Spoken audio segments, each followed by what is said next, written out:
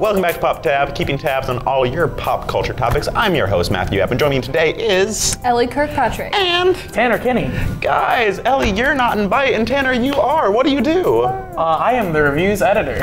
Wow. I also write reviews, and I also write terrible features. You do. Sometimes. Elli, what do you do? Um, a lot of fun things like sleeping. Well, get a job. Eating. You know who else needs to get a job? Kanye West. He kind of has one. Uh, but an issue he's facing right now is he's not doing well at most things he's doing. Uh, see, Kanye West recently tweeted that he is distancing himself from politics because while he was very involved in politics as of recent, that has not gone so very well for him, and he feels that he's been used by politicians. Um, although he didn't name any particular names, uh, people are assuming that this has to do with the GOP because he kind of out of nowhere got really involved with a lot of Republican politicians. Uh, so, what are your guys' thoughts on this? Well, good old Kanye. Oh, He is, he's a bit of a crazy person, and that's something we're going to get into here. All right. But the, he was kind of used by politicians, Mm-hmm. like, and also people on, like, the right were using Yeah. him as sort of like a poster boy, being like, hey, look, look at this guy. Look at him. He's, Right. He represents everything we stand for. He's, he's a celebrity endorsing Trump. We should be glad about this. yeah. Come on, everyone support him. Let's get some merch out. And then Kanye was like, why? Yeah. I didn't approve this. Who approved Right. this? Yeah. Yeah, I also think it's it's interesting because I think right now that's kind of a, a trend of celebrities um, like Taylor Swift coming out and saying things um, that are strongly political. Kanye, we've looked at Beyonce just recently. Um, so, and I think that's an interesting kind of aspect to the idea of politics in general um, because I think Americans hold celebrities of any type in such high stand choking in such high standing. We do. that it is. It's kind of interesting how much power they can have in just like a few tweets or a hat or things like that. Um, any hat, Any- any hat. Um, Top hats are super. top political. hats, like yeah, that that's a message right there. But yeah, I think that Kanye kind of maybe liked that fame at first and liked Yeah. that attention because he is Kanye and he is a celebrity and he does have an interesting fan base and things like that, you know. And I think that once he realized what was actually happening, it was like, ooh, sorry, that's not what I intended. It was fun while it lasted, but please no more, you know. Yeah. I personally think that Kanye really did enjoy, like you said, all he had to do was be like, ha, I like Trump, and everyone talked about him. Mm-hmm. And I don't even think that's just a Kanye thing. I think a lot of celebrities really do crave to be in the limelight, and he found a way to get in the limelight. I think kind of what you said and what you were alluding to is Kanye realized he was being used as a token. And Mm-hmm. I I do feel bad for him. It was very much like, hey, you guys know this notable black man who's been like very vocal with black community his whole life. Look, he's with us now. You should like totally all black people should support us and all those offensive things we've done to black people don't matter because Kanye West likes us. And I think Kanye did take offense to being used as a token. Down to uh, a clothing line was coming out by Candace Owens, which was called Blexit, which is a reference to Brexit, but it was basically saying all uh, black people should leave the Democratic Party. And she said, uh, she put Kanye's name on it and said that he was behind it. Kanye West came out and was like, no, I, I never said that.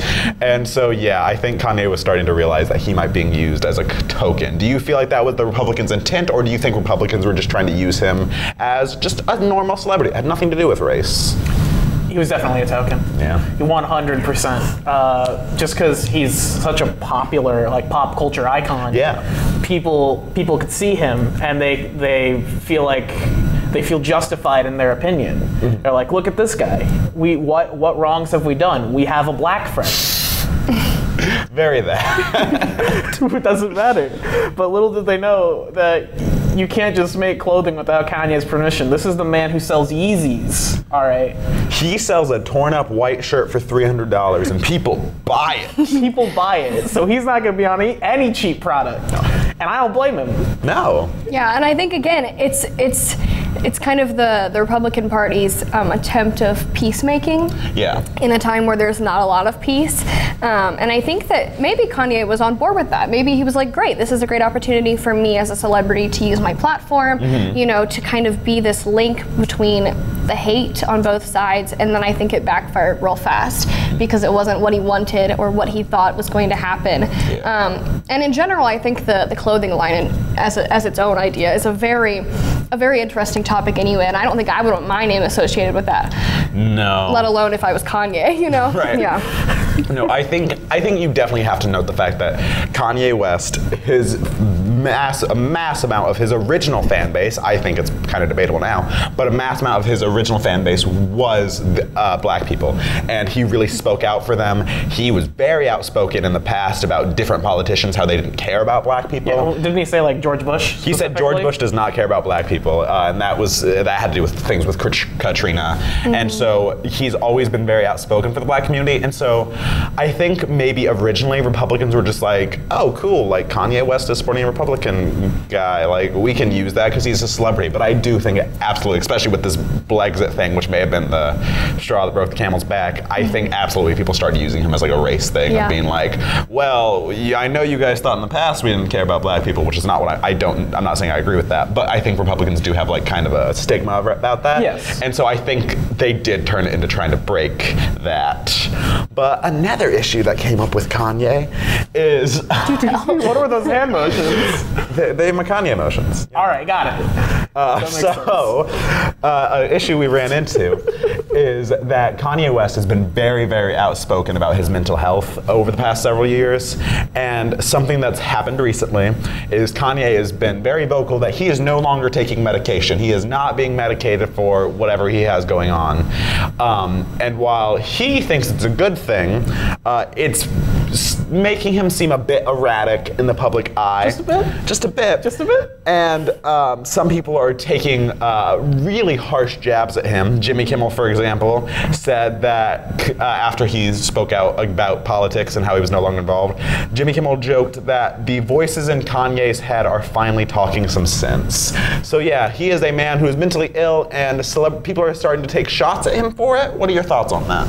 I think that the media um, is is really using this on both sides. Republican media is um, still clearly running with this, but I also think that. Um, Jimmy Kimmel, from his perspective, this was a great punchline. This was a great, you know, and and it and it um, it pleases his his more liberal audience, you know, Yeah. to think that oh, this Republican icon has fallen. You know what I mean? Things like that, um, and which again, I don't agree with. I don't condone that. That's No. unfortunate. Um, but I think that I think Kanye got wrapped up in that attention, and then it's turned into this other situation that's like a real issue. You know what I mean? Of, of, of taking your medication. He's bipolar. You know, like this is a serious thing, and you know, I don't know. I think that it, it got blown up to be some attention media-inducing thing Mm-hmm. That shouldn't be. It should be something very serious that people pay attention to. Yeah. Yeah, and people tend to have, I've, I've noticed, like with Twitter especially, people like to dunk on male mental health issues. They do. Like going back to Mac Miller,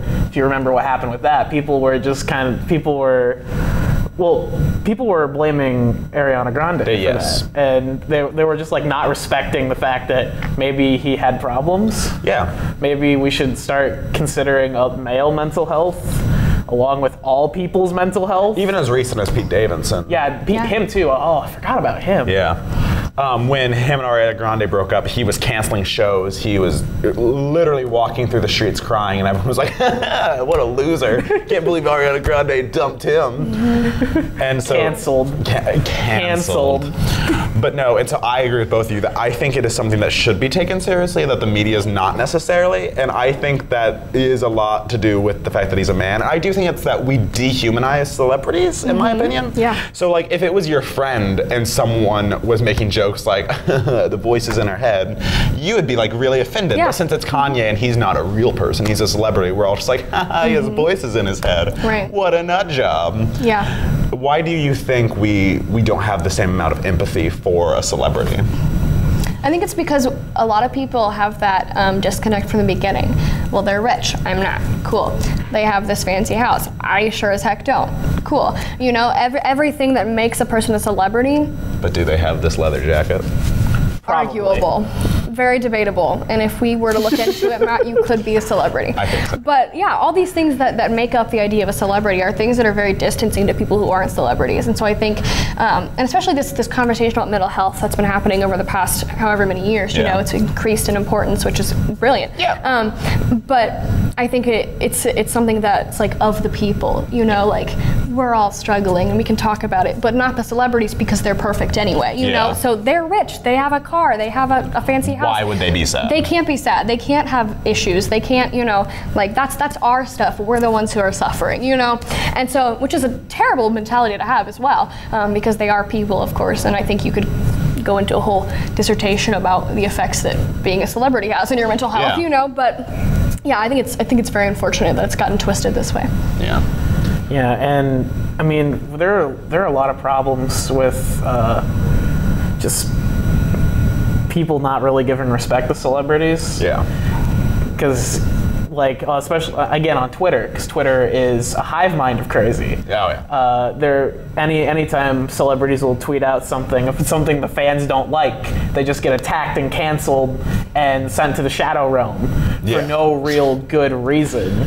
And we stop at some point. You know that has to take a mental toll on them. Like, Right. there's only so many times you can say whatever. That's just some guy. When it's a bunch of some guys saying the same thing to you, it's like, oh man, what if they're right? Well, and I think Kanye is a perfect example of that, where Kanye his whole life has been criticized pretty heavily for different opinions he's held or different things he's done. And I'm not saying Kanye is without fault. Kanye, in my opinion, has done some pretty douchey things.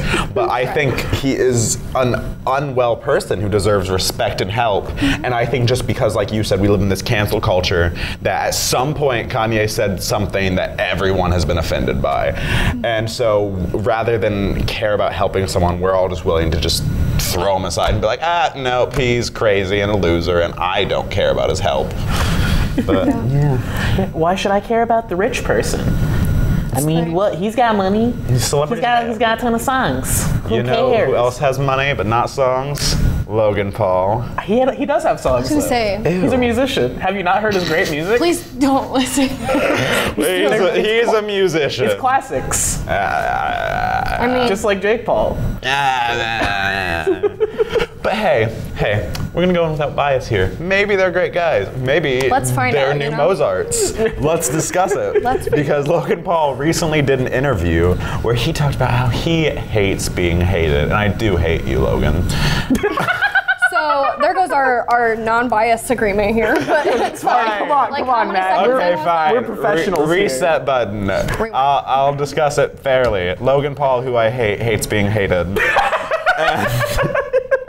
He has been detailing in the interview his struggles from the past, where he wanted to give context to the Suicide Forest video and all his douchey accolades that he's been collecting over the years. and he wants just one more chance. So, what are your guys' thoughts on this? How many chances have we given him? Too many. How many how many times does he have to make an apology video? And you know, people like Jacksfilms jokes about this Mm-hmm. with frequent my apology videos that are all just like satir, sat, sat, satir, satire of uh, Logan Paul and his dumb antics. Right. Where he'll get caught doing something stupid like tasering rats. And- They were dead and- rats. oh, I'm sorry, dead rats. Where he's tasering dead rats, and he's and people are like, this is like borderline sociopathic behavior. Yeah. And he's like, I'm sorry, guys. I want to be a good role model for all the 12 year old children who watch my program. Uh, I want to let them know that it it's not actually okay to go and disrespect foreign cultures. All right? Mm-hmm. The- I was actually this whole this whole suicide forest thing was actually about suicide awareness, guys. Come on. So I you filmed believe a me? corpse. Look, look at my hair. Don't you believe me? it's all about the hair. It's all about the hair. Give that man a comb.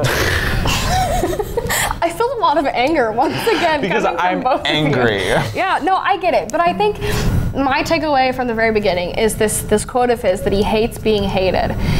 Fantastic, don't we all? You know, and so that's where I would say, all right, well then let's look at why people are hating you. They're not just hating you to hate you, which like maybe they are, you know, but like 98.9% of the time there's something to people's disgust with him or their their mild displeasure with the things he says or does. You know? I hate you for everything you are. And then there's. Matt, you know, and and we just kind of have to take that with a grain of salt as well because it's Matt, you know.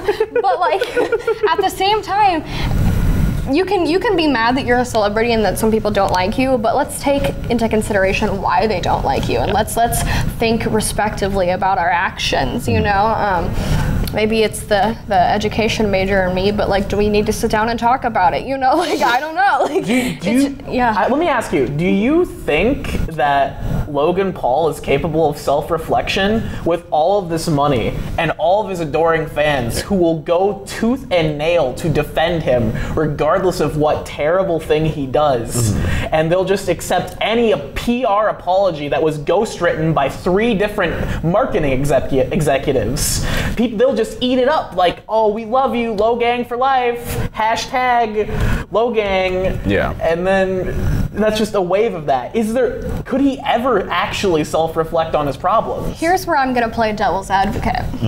Didn't we just discuss about how we should be taking celebrities' mental health into consideration and not canceling them and things like that? Not that I'm here to say that Logan Paul is my hero and that I am part of the hashtag Logang, because I am not. Please do not quote me on this, I don't all right? believe So you're a Jake but, Pauler? But no, I'm also not a Jake Pauler, please. Um, but I will say, I don't know. There's a fine line between Logan Paul is, the scum of the earth. Yeah. And Logan Paul has done some pretty awful things and said some pretty awful things and is probably doing a lot of things for the money um, and the, the fame and um, the celebration that he gets from his 12 year old viewers. Yeah. But at the same time, I don't want to bring up his brother because this is a whole other situation. But you know, the Shane Dawson YouTube series that just occurred um, Yeah. about his brother kind of led to the conclusion that Logan has some issues that have reflected not only on him but on his brother and the way they both act. And so I would argue that like there's a there's a there's two sides to the coin, you know. And yeah, Yeah. he hates being hated, but let's not um, jump to the conclusion that like we need to be Yeah. attacking him, you know. And again, Listen, I understand the guy has some issues. I would like to say that you're very correct, and I do hate Logan Paul, but I do I sympathize heavily with Logan Paul because I think something that you both brought up is I don't think he can learn, and I don't think he will ever learn because this is a man who has unfortunately never had to face a consequence in his life, and while that seems like a good thing, I genuinely feel bad for him. well, and part of that comes from his fame. Yes. You know, um, and I think if he was any normal kid.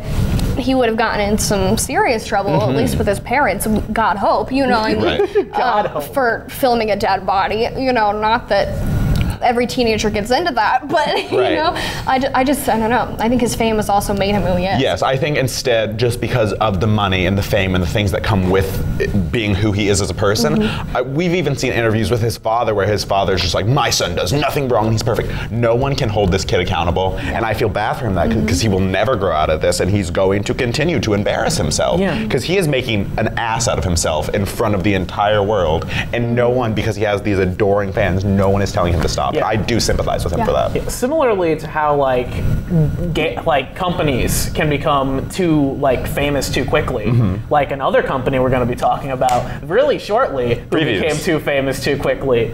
Uh, Logan Paul, he never like grew up normally. Yeah. Uh, he he was famous from the start. Yeah, when he was when he was in high school, he started Vine, and that's where he gained most of his following, which then grew with YouTube. So he he doesn't know like failure. He doesn't Right. accept failure, and I I mean that's admirable in a way. Mm-hmm. But he should really like if he wants to stop being if he wants if he hates being hated so much, he should seek out help. Like, And not like, a, sad apology video with like sad dramatic music, with like a speech written by someone else. He needs genuine mental help. We're sorry. We're sorry. We're so sorry. And you know, I know that I caught that old woman on fire, but I thought it was funny, and I just wanted to like to give you all a good time and a good experience. I just want to spread love in the world, man. And you know, she looked so flammable. So like, And, and if we could all smash that like button, smash that like button, ring subscribe Buy to that, ring that bell, subscribe, follow me on Face, Twitter, Gram. I'm gonna be doing an Instagram live later where I reply to you guys for giving me. So thanks. Hashtag Logan. Logang for life. But another issue that's come up that kind of relates to this is not only do people forgive him too quickly, people won't stop talking about him. Mm-hmm. And so something that could be seen as just a publicity stunt, and then because I feel like it is kind of a trend, is he starts to lose popularity, and so he does some crazy thing, and everyone talks about him, and then he apologizes and repeat ad nauseum. Um, and so, do you think that news outlets are the problem for talking about Logan Paul, for Aren't- giving him that platform? Aren't we talking We about are. him? Do you think we are the problem? We're the problem, Matt. That's fair. Specifically, you're the problem, but we're That's collectively the very problem. fair. Well, no, I, I, I do kind of agree because, like we were talking about with Kanye, it goes back to this idea of fame, and there are like narcissists, you know, people like that who feed off of this popularity, and whether that's negative attention, you know, or positive attention, I think people, and I think more people than we like to admit, um, live off of that, you know, and I and as much as Logan, I'm sure, does not appreciate you know, like the, some of the backlash he receives, he gets enough support from his devoted followers for everything he's ever done that he feels good about it. And and again, I pity him for that because I think that's something that he just doesn't understand how to um, to garner positive attention in a way that um, is helpful for the people around him, you know, and don't doesn't tear down um, people. Yeah. Yeah. And I would have to agree with you guys. I think the media, I'm torn because on the one hand, I do think we're the problem, and I feel disgusting for saying it, but just like, I know that me talking about Logan Paul is only going to get Logan Paul more exposure, but on the one hand, when I put Logan Paul as the topic in these videos, more people watch them, and that's disgusting on my part, but that's just how the media works. Mm-hmm. But on the other hand, I do feel a need, and I feel like the thing that a lot of media outlets would argue is that you have to talk about what is relevant and Yeah. what is important. Mm-hmm. So, Tanner, I know you said that we are the problem. What do you see on that end of the spectrum? I think we're just it's part of that we're giving like all the things he does too much exposure. And I think like with certain things like suicide forest, Yeah. it needs to be talked about. Yes. Because it's absolutely wild. That sort of thing is incredibly disrespectful to the point of like no return. Like he should not have come back from that. And he did anyways. Right. But stuff like him commenting that he hates being hated, and even just, I mean, tasering dead rats is weird. I don't condone it. That needed to be talked about. That was that was really inhumane. It was it was inhumane, but it wasn't necessarily like b- big major I see what you're saying. thing, and we're, we still gave him exposure for that. We're giving him exposure for this uh, terrible quote that he made. Every single apology gets dunked on by people on the internet. Yeah. It just gives him more exposure, and it just rallies his fan base behind It him. They got to defend their king, Logan. They have to defend him with their their Twitter accounts, all the eggs, Yeah. all of the eggs. And not to get too political, but what else do I do on this show? Uh, Donald Trump, I think, is a prime example of when the media constantly like attacks someone for what they do, even if that thing is like gross and stupid by most standards. When a fan base that is rabid sees them being criticized constantly, they just buckle down. They don't consider. I think they just buckle down. So I Definitely. I can see what. Where do you fall? Do you think it's a problem or it's important to report on these things? I, I think, like you said, the, the news and any media outlet, their job is to talk about what's relevant, what's happening, and what what applies to their viewers. Um, and I think that Logan, especially the Suicide Forest incident, Yeah. that was relevant to a lot of people Yeah. who are who are either struggling with suicide, um, suicidal thoughts. Um, know somebody who has committed suicide, anything like that. You know, that was an insensitive thing that he did, a very disgusting and insensitive thing that he did. And so I think part of the the the role that, that news and media outlets can have is saying, "Hey, this isn't cool," you know, and and we're sorry to the people that this um, affected negatively, but like this was not cool, and we need to put them on blast for that, you know. And so. Um, yeah, it gives him a platform, but he also has enough of a platform on his YouTube page Yeah. anyway that it's not, we're not taking away anything if we don't Right. talk about it. He's still doing whatever he wants to do because he's got the whole 14 to 16 year old male It's not viewing population It's supporting not like it, us know? talking about it here on Pop Tabs, where maybe a couple hundred people will see it. It's Right. really going to make Logan Paul's But you know what? We like you, a couple hundred. I people. love you Yeah, what's guys. up? Thank really. You're my whole heart. You're the reason I get out of bed in the morning and stop crying for just a little bit. but you know who is crying right now? Who? Anyone who has to deal with Riot Games. What a company. including the player base. yeah. Source: Am a player of their single game. They I have- cry every night. They have multiple, but only one's good. Uh, so Riot Games, the company behind uh, League of Legends, is facing a, uh, a class action lawsuit against two employees, one former and one current, over gender discrimination in the workplace. Uh, it highlights a a bunch of issues from like pay gaps to refusals for promotion, ignoring harassment, and a culture that suppresses women. Uh, this is not crazy mind blowing to a lot of people because it's a video game company, and as we've discussed on Pop Tabs before, video games tend to be a very toxically masculine place. So, what are your initial thoughts on this? Uh, Riot Games is a tech bro company.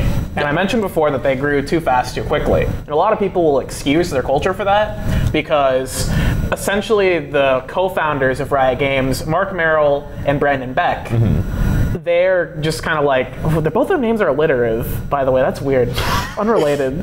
But But that's what's important today. If you take away anything, it's that both the co-founders of Riot Games names are alliterative. Yeah, so. but it's but they're they were essentially like college frat bros. Yes. That made a successful video game off of the the uh, the skeleton that uh, Dota All Stars had, and so they built their company around the culture that they wanted to have as college frat bros, which doesn't necessarily trans- translate well into a successful business which is why they're draining money right now. And it does not success- translate into a very good workplace, which is why they're getting sued. yeah, yeah. Elli, you're a woman. Correct. what is your opinion? Because uh, you have a better view than the two of us do. Do you think these kind of things are common in a workplace? Uh, yeah, I yes, that's the short answer. The long answer is, um, first of all, I'm I'm super glad that these two employees um, spoke out because Mm-hmm. I know that doesn't happen a lot, which is another thing that doesn't get talked about. You know, Yeah. um, I'm I'm sure, 100% sure that this happens frequently in all types of situations, and so for the for the two of them to have, first of all, a class action lawsuit. Love that. That's that's not they're not messing around. Um, you know, I think that's that's super important, and I think it's something that we need to be paying attention to and discussing because it doesn't get enough. Um, it doesn't get enough attention, you Yeah. know, and it's something that I'm sure is, is very relevant throughout any type of company, throughout any type of work environment, you know. And so, yeah, as a woman, I'm like, good for you. Hope this goes someplace because that's the other side of it, you know, Yeah. that it's it's it's turning into this situation that seems to never end. Actually, go anywhere? Yeah. Mm-hmm. Yeah, and I'd, I'd like to point out if you're wondering if Riot Games is trying to cover this up, yes. Yes. Yes, they are, and yes, they have been. The original Kotaku article that came out, Mm-hmm. not this one, but the original one that talked about sexism in Riot's workplace. Yeah, this comes about three months after there was an investigation by Kotaku be, about uh, just kind of gender discrimination within the workplace. Yeah. So this is, this comes at this comes after that, and that original post on the League of Legends subreddit was the top post for a while. It was like sitting at like four thousand something upvotes, and then it just disappeared. Yeah. It just disappeared. The mods removed it because it's not related to League of Legends. And this new this new article has not appeared at all Yeah. on the subreddit. Like this class action lawsuit, which was at the which was near the top of our games, which is the gaming discussion subreddit. Uh, it was at the top of that with a sizable number of comments and upvotes. But for our League of Legends, the community dedicated to the one game Riot has is just they don't know anything about it because probably because the mods are censoring it. We don't have any proof of that, but the mods have done it in the past. So and the rod and the mods have we know they're connected to Riot. Yeah. There's we have plenty of evidence that the mods are connected to Riot and that they work with Riot Yeah. to promote posts. So they're definitely censoring. Yeah. Which is great. Thank you, Riot Games. I think what we have here is, like you said, a company that grew too fast with kind of a hyper masculine culture, and they also have to be, in what is my opinion, the most male dominated and woman exclusionary company or uh, business, which is video games. And so I think they have, again, kind of on the never facing repercussion things. Up until very recently, video games have not really had to deal with kind of this concept of inclusivity. And so I think this company has just been used to and is buckling down on this idea of preserving men to the point where one of the higher ups, when brought this idea of inclusivity, uh, told one of the women in the lawsuit that diversity should not be a focal point in the design of Riot game products because gaming culture is the last remaining safe haven for white teen boys. So, Stab in the heart. where do you guys think that comes from? Gamers rise up. Rise up. Fight fight against the Chads. Gang weed. I mean, that's over my head. I play Nintendo games. I, don't, I don't know all that jazz. But where do you think this kind of idea that they have to preserve this space for white teen boys is coming Yeah, from? I don't know. I can't, I can't even listen to you say that without rolling my eyes. Just if that puts any perspective onto what I have to say about that. But I, I just don't know. I think that right now to come out and publicly say that mm-hmm. is one of the most insensitive and probably ignorant things they could have done. Um, especially now. You know, it's Yeah. I think it's pretty ignorant and insensitive regardless. Um, but there we're living in a time where like you shouldn't say like that's not an okay thing to Yeah. publicly promote and i think that's that's something that if you were um, i am not but if you were a woman who was into gaming that's something that would i think really offend you and probably hurt you to think that a company that you may be very into um, has this type of mentality towards their own coworkers and then what does that say about you know their fan base you know they, like their whole thing of this is for the white teen boys well thank you very much. I'm a white teen girl, you know. like I guess I will never be playing this game again. That's that's not productive at all. yeah. Yeah, and to to explain why I said those strange things before the start of the segment. It was a whole new language. Yeah, uh, there's. I, I hope it's purely ironic, Uh-huh. but there's a movement movement on the internet where, so if y'all remember GamerGate, I do. it's an extension of that, Uh, uh, where where gamers gamers uh, believe that they're they're being they're being oppressed by society, and they need to they, they need to preserve their, their pure gaming atmosphere. They need to get rid of the SJWs in the game industry. You hear me? They need to get rid of all the all the female game characters and all the di- diversity in games.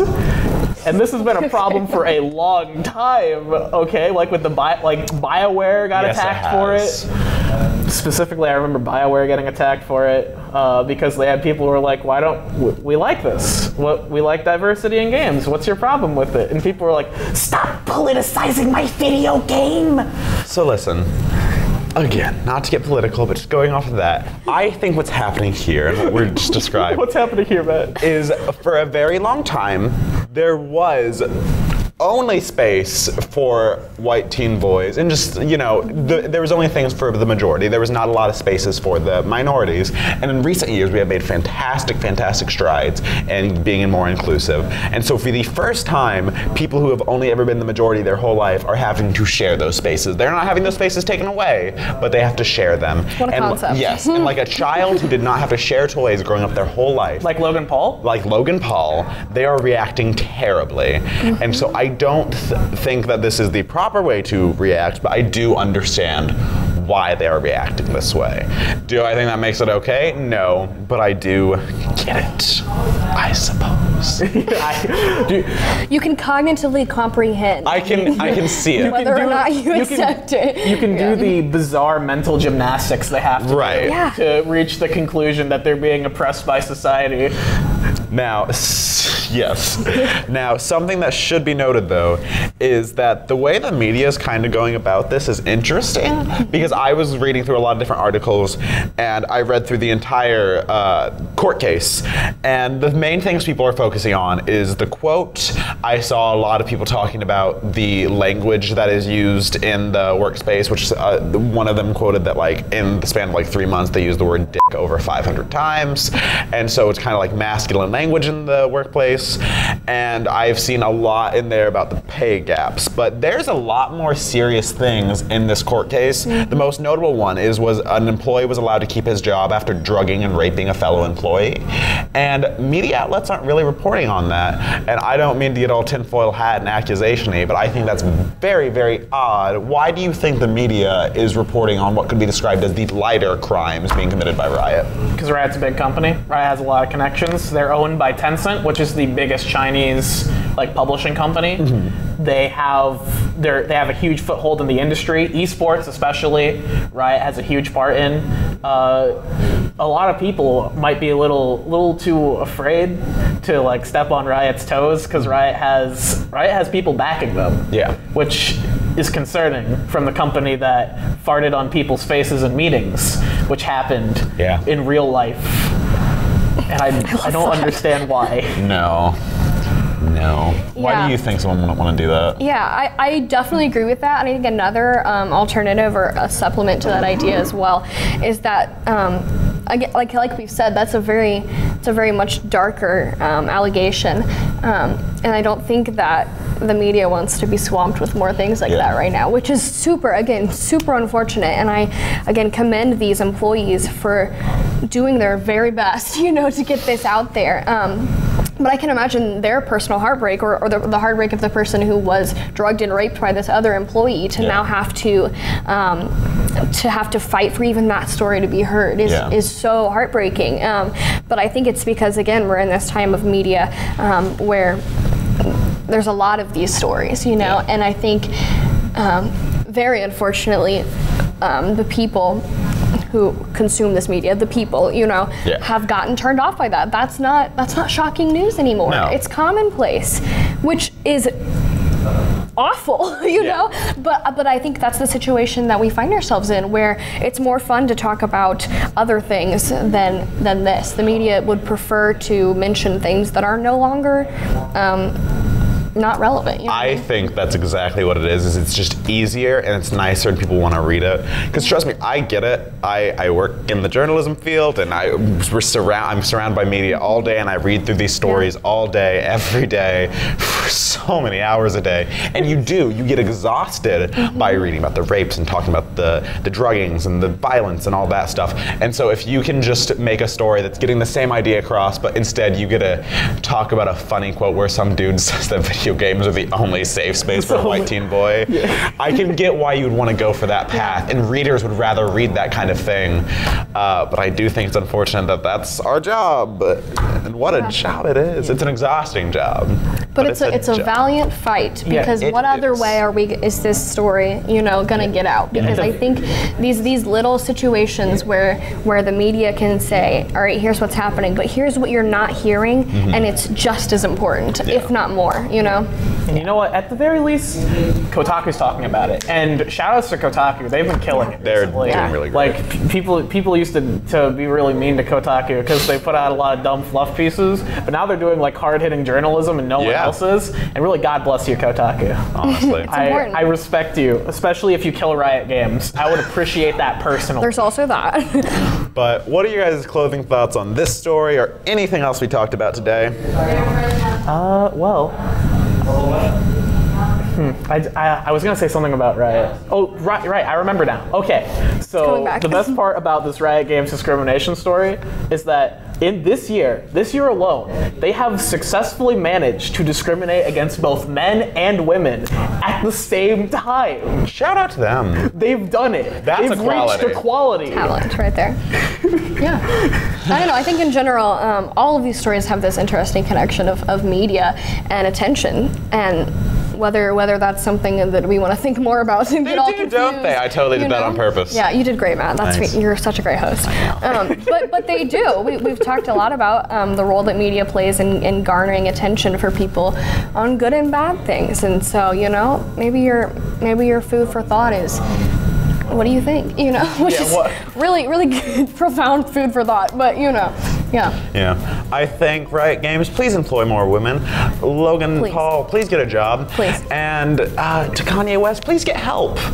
But to you guys, please have a nice day and thank you for watching. I've been your host, Matthew Yapp. Joining me today was. Elli Kirkpatrick. Tanner Kinney. Thanks, guys. Because uh, the legendary Pokemon in Gen 5 get really ridiculous. Yeah. Um, I've But always said that. You've never played a video game that's not Pac-Man. Um, did you mean Mario Kart? I love I Mario meant to say Mario Kart. It would have been a better joke. I love yeah, Pac Man is niche. Always come on, come on.